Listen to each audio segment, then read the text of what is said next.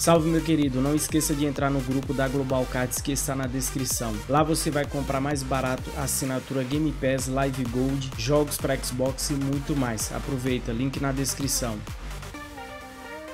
E aí, beleza? Aqui quem fala é o Muka, trazendo para você mais um vídeo de corridas online aqui no Forza Horizon 5. E hoje a gente vai trocar uma ideia sobre os assuntos que a gente discute durante as nossas lives da Twitch. Se você não me segue na Twitch, o link tá na descrição. Todos os dias a partir das 9 horas, 9 e meia, a gente começa lives ali de corridas online no Forza Horizon, Forza Motorsport. Tô curtindo muito a Seto Corsa e Fortnite, cara. Você pira que eu tô jogando Fortnite. Então, ontem o nosso assunto principal é da expansão que tá chegando pra gente aí, a expansão focada em corridas de rally. O primeiro questionamento da galera é a respeito de não estar tá aparecendo o ícone de Xbox One, Xbox One S, depois da apresentação dessa expansão. Aí o pessoal ficou discutindo nas redes sociais, meu Deus, não vai ter a expansão de rally para Xbox One Fat. Não faz sentido nenhum, gente, porque teve para expansão da Hot Wheels, que eu acho que é muito mais complexa do que essa expansão de rally. E outra coisa, se o cara que joga no Xbox One Fat ele comprou a versão do jogo com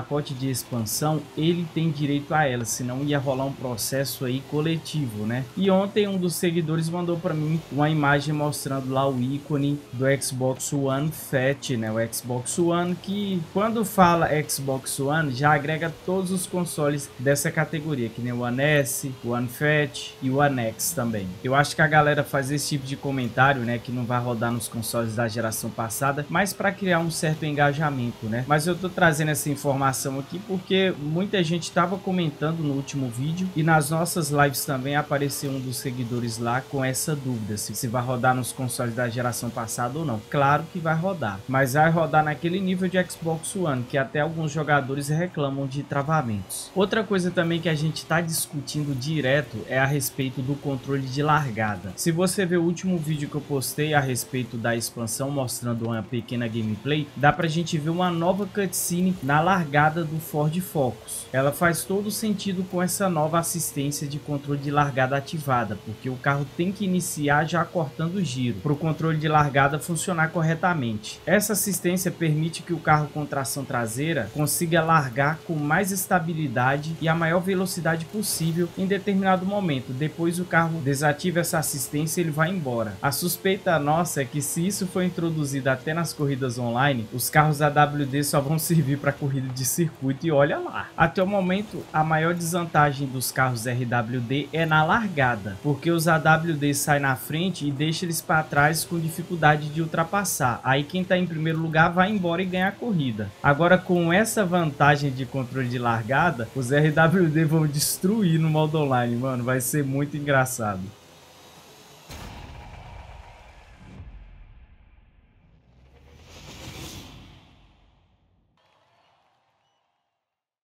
A Playground Games revelou a segunda expansão do Forza Horizon 5 chamada Rally Adventure, que estará disponível para a gente dia 29 de março. O foco dessa expansão vai ser em corrida off-road. Você vai ser transportado para esse novo mapa para enfrentar uma série de corridas de rally. A gente vai ter três categorias. Cada categoria tem um líder. Você vai vencer uma série de corridas de uma categoria. Depois que você vencer as três categorias, você vai enfrentar uma corrida em Golias. É a primeira Golias que tem pista mista na série série de Forza Horizon, sem mencionar que parte do terreno ainda é deformável. É tudo baseado em um novo Horizon Outpost, chamado Horizon Badlands, que apresenta um show noturno com drones iluminados. A expansão vai apresentar duas maneiras de condução, Horizon Racing ou Horizon Rally. A Horizon Racing é a mesma que a gente usa no jogo principal. A Horizon Rally tem algumas mudanças incluindo a remoção da linha de traçado. Em seguida vai aparecer ícones de curvas e ondulações e um N NPC te dando as instruções da pista através de um helicóptero. A gente vai ter um novo sistema de pontos de verificação que mede a diferença entre o tempo atual e os melhores horários para cada estágio, que são as parciais de tempos que a gente tem nas corridas de rally. Para mergulhar nesse tema de rally, a Playground Games introduziu duas novas tecnologias que serão adicionadas também no jogo base, para quem não tem a expansão, que vão ser o anti-lag e o controle de largada. O controle de largada você vai poder utilizar no modo livre, para quem não sabe o controle de largada largada é um item bastante comum em supercarros e hoje a gente encontra em alguns carros normais entre aspas, que nem o Golf GTI, que é um sistema que você consegue ir de 0 a 100 no menor tempo possível sem perder a aderência do pneu ao solo. O sistema anti-lag ele melhora muito o desempenho do turbo, injetando bastante combustível e isso vai proporcionar para a gente muito barulho do escapamento e muita labareda de fogo. Lembrando que o controle de largada vai estar disponível no início das corridas também. Tudo indica que a gente vai ter uma nova cutscene no início das corridas do modo campanha e modo online, por conta do controle de largada. E o sistema anti-lag vai estar disponível para todos os carros que têm a opção de colocar o turbo compressor, ou seja, 630 carros. Eu vi que essa expansão só deixou animado o pessoal que é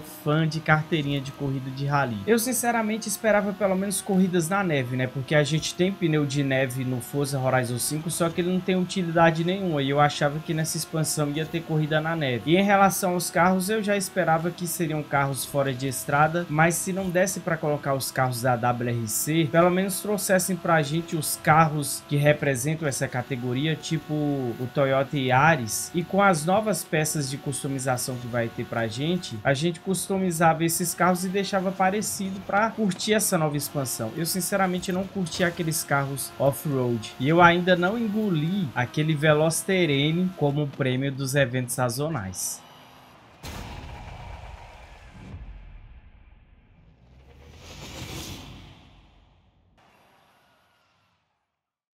Agora que você está sabendo um pouco aí sobre a nova expansão de Rally do Forza Horizon 5, a gente vai falar aqui sobre o controle de largada. Vocês já pararam para pensar que a gente pode ter o mesmo problema, não no mesmo nível que a gente tem a respeito da expansão da Hot Wheels? Porque na expansão da Hot Wheels é um lugar muito bom, lá tem um próprio Horizon Open onde você pode fazer as corridas online lá, só que o pessoal reclama muito que a galera só corre de Jaguar na expansão da Hot Wheels, porque lá os tração traseira tem uma aderência muito boa. Só que os tração traseira, principalmente da classe S1 para cima, eles são desequilibrados. Por exemplo, a gente tem um Jaguar que tem uma aderência boa e corre bastante. Aí lá atrás dele, a gente tem um Koenigsegg. Aí lá atrás do Koenigsegg a gente tem um Honda NSX. Eu tô fazendo só uma comparação mesmo. A gente não percebe que eles são equilibrados. Por exemplo, ah, todos os carros tração traseira tem mil cavalos e tem oito de manobra. Não é assim. Alguns têm bastante manobra, mas não tem tanta velocidade.